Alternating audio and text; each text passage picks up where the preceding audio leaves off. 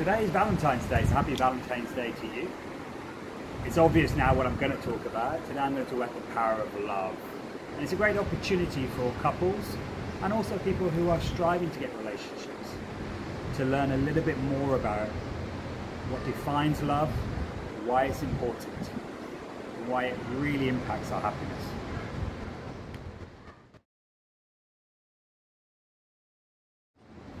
Now, love can be shown in many different ways, and some would argue that there's five languages of love. The first one, as many of you are probably doing today, is sharing gifts, whether it's roses, whether it's a dinner. That's the first one, and that is the power of gifts.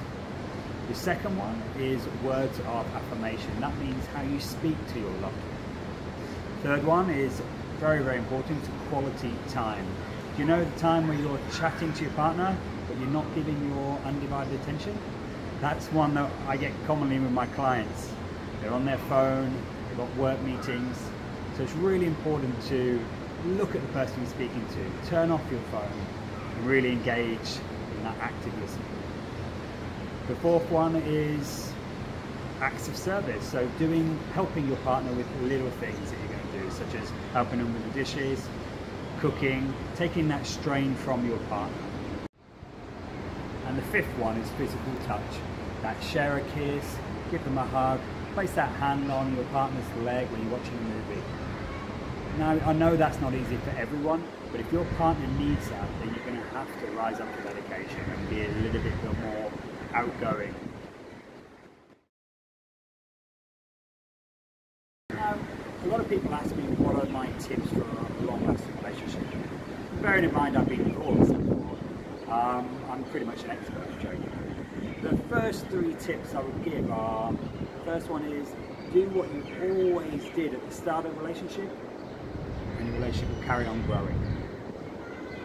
The second one is take 100% responsibility. Don't leave it for your partner all the time. Look at any situation and see what can you control and do that aspect. And the third one is probably the most important, and that's to be honest. Honest about your expectations, your desires, and your wants and your needs.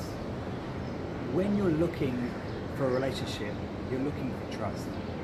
So trust starts inside of us. So always be honest.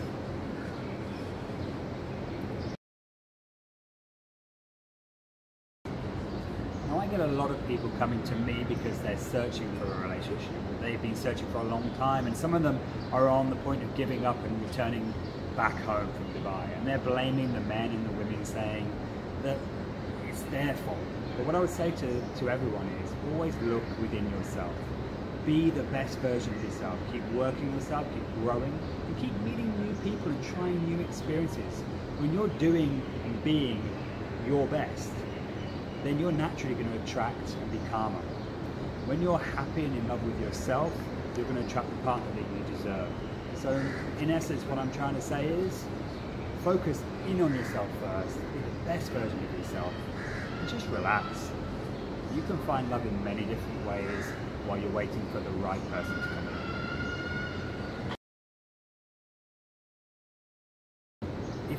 Feel like your relationship is, is on the edge at the moment and you feel like you're going to break up at any point, then my first tip for you is stop. Believe that the relationship is going well and your behavior will change accordingly.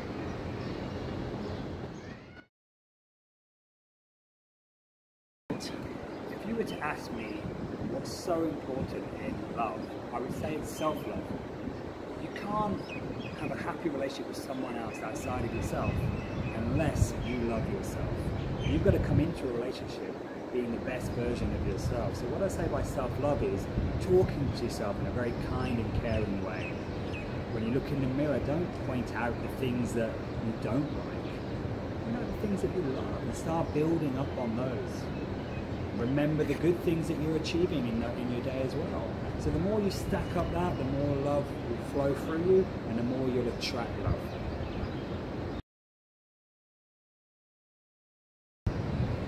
If you were to ask me to sum up the power of love, I'd say it's one of the most important aspects. It starts within ourselves. So love yourself, grow, learn, experience, and confidence.